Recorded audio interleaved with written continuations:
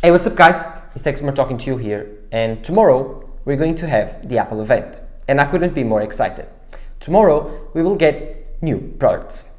We have four options for tomorrow. The M1 X Mac Pros, the M1 X Mac Mini and the AirPods 3 redesign. I'm not sure if this last one will come. It's a kind of a wild card, but let's see what happens. Of course, the M1X MacBook Pros and the M1X Mac Mini are almost confirmed by now, and I couldn't be more excited. I have waited for these computers for almost a year now, and now that we are getting them, I couldn't be more amped up because these computers are my dream. The M1X 16-inch MacBook Pro is my dream computer for almost a year, and since I saw the performance increase and efficiency increase on the M1 computers that I've wanted an Apple Silicon computer for a while to edit my videos. And now that with all these changes coming to the MacBook Pro that I will discuss later, I could not be any more excited to spend all of my money on this computer. I will almost max out this option with a 32 core GPU option, a 32 gigabyte of RAM option on a 16 inch and 1 terabyte. So before I discuss more about the changes that are coming to the MacBook Pros and the Mac Mini, roll intro. The M1X MacBook Pros will come with the M1X chip. This is the first thing that I think Apple will talk about in this event. They will follow a similar, a similar structure to the old M1 event that they had last year. They will first start talking about the M1X chip and how they build the most powerful chip ever with ARM technologies. This chip will have a 16 and a 32 core option in terms of the GPU. It will have 10 cores of CPU power, which 8 will be performance cores and 2 high efficiency cores.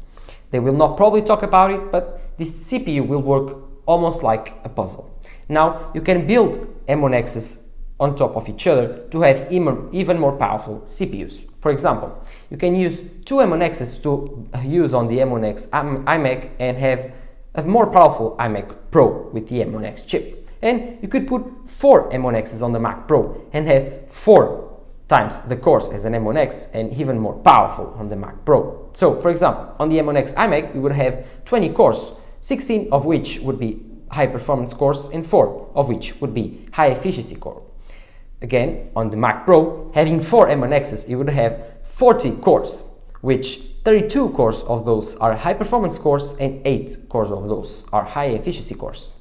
This is insanely high core counts and insanely high performance too, and efficiency too, because if you think 8 efficiency cores is just insane, and even 4 is just the same as the M1, which is a very, very efficient chip, which grants you amazing battery lives and amazing low performance. So, for example, you have the M1X chip on the M1X MacBook Pros. Those probably don't need the high efficiency cores, but those two high efficiency cores would be even more efficient than the old 4 on the M1. So now the battery lives on these computers could be extended even more on simple tasks like browsing the web and just watching a little bit of YouTube or streaming video or even those simple stuff. Now we will be working on Final Cut and Photoshop. You will probably spend a little bit more faster the battery life, but the M1X chip is rumored to be way more efficient and way more powerful, so I couldn't be more excited. And this chip will come to three computers, like I told you, the M1X MacBook Pros and the M1X Mac Mini tomorrow. Then later it will probably come to the Mac Pro and the iMac 27 inch. But of course, this M1X chip will have two options, the 16 core GPU and the 32 core GPU. It enables more RAM, Last year's M1 only had 8 or 16 gigabytes of RAM. But this year's M1X will have a 16 and a 32 gigabyte option. I'm not sure about the 64 gigabyte option of RAM for this year's M1X. Maybe again just for the M1X iMac and Mac Pro because I don't see Apple giving the 64 gigabyte option to the Mac Pros. Well, let's see. Reliable leakers like Luke Miani say that he's almost sure no 65 gigabyte is coming, but other leakers like Mark Gurman has told us that it will probably come. So we are in this strange time where we are not sure which one is correct. I would side with the less ambitions leak saying that there's no 64 gigabytes. But of course, this M1X chip will be again unveiled, unveiled and compared against a lot of older Intel chips and older laptops and Apple will probably say that this is the fastest chip to ever come to a laptop. These laptops will be the M1X MacBook Pros. The M1X MacBook Pros will not only come with the M1X chip that I've talked about before, but they will come with huge changes to their fundamental redesign. So we will have a huge redesign to the build quality of this computer. We will have more squared off corners, similar to the iPad Pro 2018 design. So it will be a little, probably a little bit more thin and it will probably be less round and more squared off. Now we have these squared off sides but with a round back and top. So let's see if we can have just squared off computers. Ross Young, which is a very reliable leaker from this place, in terms of displays of course, has said that these mini LED displays are coming with 120 Hz ProMotion technology, and I couldn't be more excited. This would enable 10 to 120 Hz variable refresh rates, which would enable even better battery life than before, more efficient screens, and of course, interchangeable refresh rates and buttery smooth 120 Hz on your M1X MacBook Pro. It's insanely good to edit videos on 24 frames per second, watch movies on 30 frames per second, or even play games at 120 frames per second. I couldn't be more excited and I love ProMotion technology on my iPhone 13 Pro Max and my iPad Pro. And I can't wait to even get more ProMotion devices for my ecosystem. I'm just waiting for the Apple Watch to get ProMotion too. Please Apple, be fast. Also, the M1X Apple Pros will have a notch. Yes, a notch. You heard me right. We have a notch on the iPhone 13s and since the iPhone 10 that we had a notch on the iPhone because we had Face ID. And you might be wondering if we will be having Face ID if we have a notch on the MacBook Pros. But leaks suggest that no, we will not have Face ID. This notch is going to occupy with the camera, mini LED that we will have, which will tell if the camera is on or not, and the microphone. And why would we have a notch if we don't have Face ID? Well, because Apple wants to push the display to the top and use as much area as possible for that display. That's why we are hearing that we have a little bit more pixel sizes to these displays. So the notch will only occupy the top area where is the camera right now. So Apple will gain that extra screen space. That extra screen space, don't worry, won't be usable for apps because apps will have to use only against the safe area. This area will be not used by apps, like I told you, it will be used by menus. Apple right now has that menu bar, and that's the reason why I'm not bothered by this notch, because now we will have more screen real estate with the 16 by 10 aspect ratio that we now have on the MacBooks today. And this display won't be bothered by that bar that we have where you have the Apple symbol, you have the Wi-Fi, the Bluetooth. That bar will be on closer to the notch, just like on the iPhone. So it won't bother your content and that's the reason why I'm not bothered by this notch. The renders that we see now they don't make quite justice to this notch because they show you a full screen image, while Apple will probably have the wallpapers not going as top, and then they will have a night mode bar or a black bar there. So let's see what happens with the notch. I'm very excited to see these MacBook Pros. Monday, tomorrow, all the dots will be taken off. Again, deviating from the question, the M1X MacBook Pros will also have more I.O. Yes, I'm talking about the new MagSafe introduction. We will have a new MagSafe cable.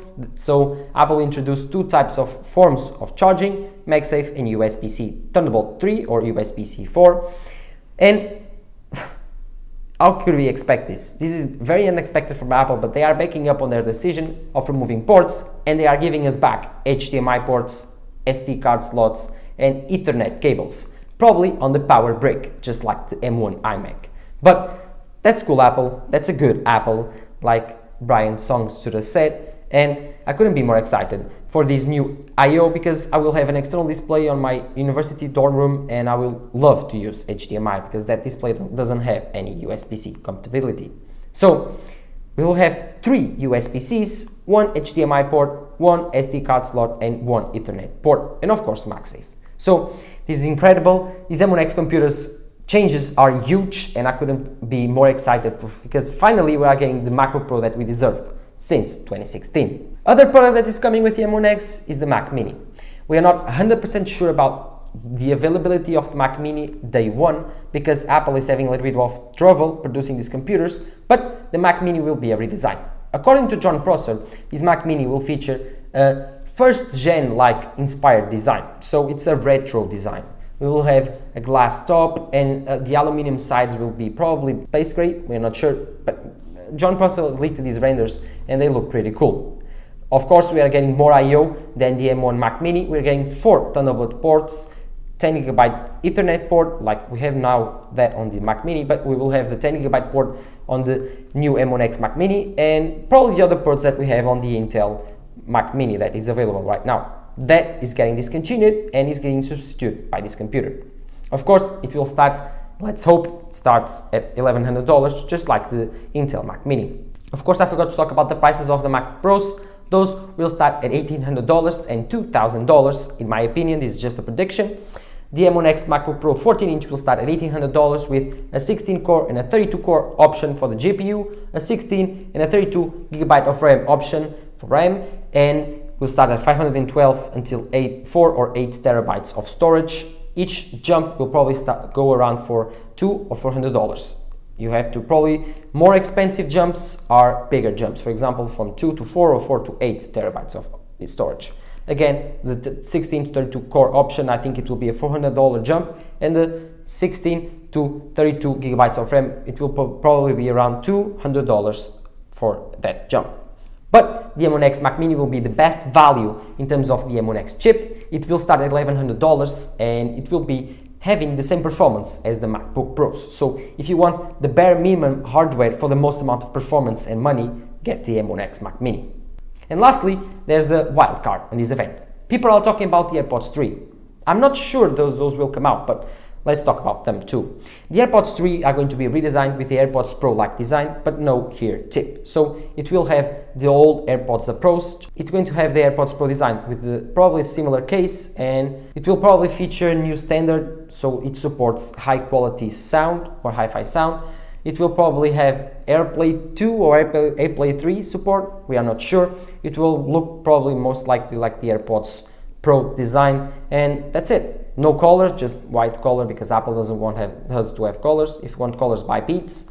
So that's it for the AirPods 3. It's kind of boring. I'm not seeing Apple releasing them together with the M1X MacBook Pros because the event is called Unleashed and I'm just seeing Apple introducing these three computers and the M1X chip like they did last year with the M1. But what are your predictions for tomorrow's event? Are you excited? Leave them on the comments down below. What do you think it will happen? Are you going to start the event with the M1X chip? Are you going to get the M1X MacBook Pros like the leak said? Or are they going just to be the current MacBook Pros with the M1X chip? Is the M1X Mac Mini coming? I don't know, I'm not sure. I will think it will, I hope it does. So, which computer are you getting? Drop on the comments down below your answer. And while you're there, don't forget to leave a like and subscribe. Follow my social networks, Twitter and Instagram. And it was Tech Talking to you here. Bye.